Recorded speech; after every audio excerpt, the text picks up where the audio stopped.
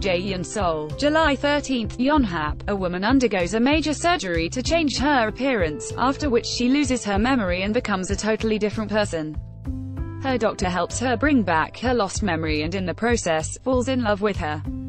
The new mystery romance thriller, Let Me Introduce Her, set to begin this weekend on SBS, follows the journey of a confused woman seeking to find out her past and discover her true self.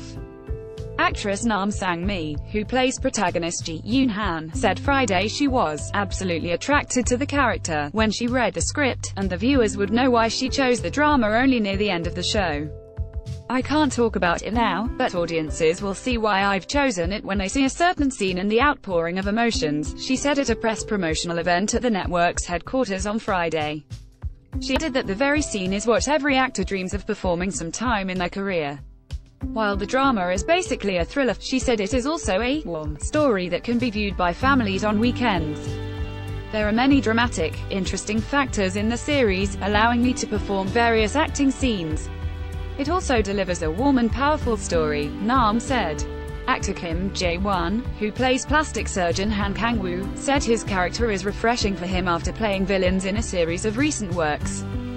Performing bad characters in a row has been hard, to a point where I've fallen sick. This character is similar to my real self so I thought to myself that it would save me, Kim said. Actor Hyun Jae, who plays news presenter Kang Chan-ki, especially spared his words as the character, according to him, holds an important key to solve the mysteries surrounding Ji Eun-han. It is a story about a woman who lost both her appearance and the inner side setting off a journey to find herself.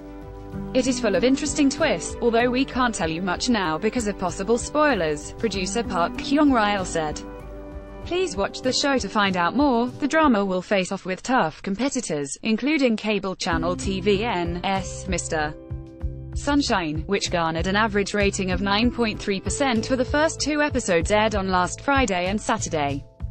I watched Mr. Sunshine, and it was very interesting. But viewers will get easily hooked on our show and find it hard to stop watching it, Kim said. The 40-part drama will air its first episode at 8.55 p.m on Saturday.